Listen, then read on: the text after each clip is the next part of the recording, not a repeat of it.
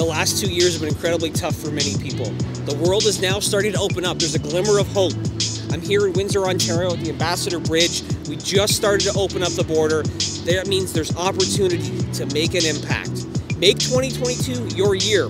Here at Cashflow Tribe, we're here to help you do that. Join us on December 4th. We're holding an event. You'll learn from me about how to discover your why, how to set SMART goals the right way, how to boost your productivity and your performance, and ultimately have the mindset to make 2022 your year. Again, the world is opening up. Let's make sure you take advantage of that.